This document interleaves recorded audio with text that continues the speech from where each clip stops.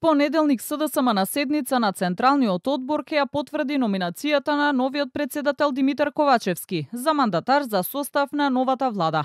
Веќе следниот ден председателот Стево Пендаровски очекува допис со информацијата за во вторник или среда да ја заврши уставната оврска и да му го додели мандатот. Со чинот на предавање на мандатот почнува да тече рокот од 20 дена за екипирање на новиот владен кабинет и програмата, кои потоа ќе одат на гласање во собранието. Во сенокешното само интервју, Пендаровски рече дека нема да бара подписи од пратениците како гаранција дека СДСМ го има мнозинството. Ја не можам да го дадам мандатот на СДСМ, да напишам, ја му го дадам на, и на кого, на економот тамо на Бихачка. ја морам да знам кому го давам.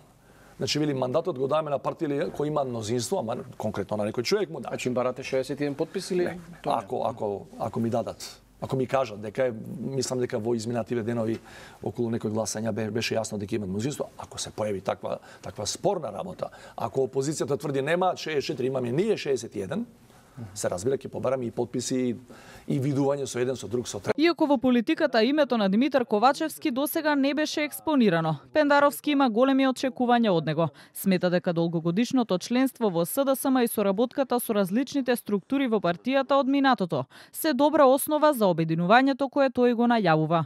Ковачевски е голема непознаница во политиката, бидејќи никогаш не бил на позиции предходно. Мислам дека треба да му се даде шанса Факт е дека има богат академско искуство, факт е дека има години и години партиски стаж во СДСМ, дека многумина таму го знаат, дека многумина познава.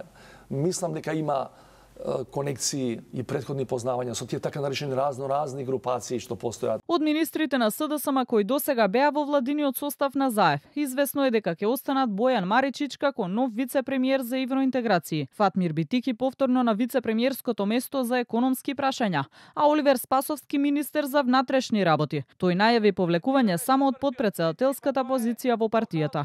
За Министерството за транспорт и врски се споменува Петре Шилегов, а во труд и социјална политика политика Милан Живковиќ. Министерството за земјоделство најверојатно ќе го преземе актуелниот заменик министер Трајан Димковски од СДСМ, а со образование и наука неофицијално ќе раководи досегашниот министер за јавна администрација од ДУИ, Јетон Шакири.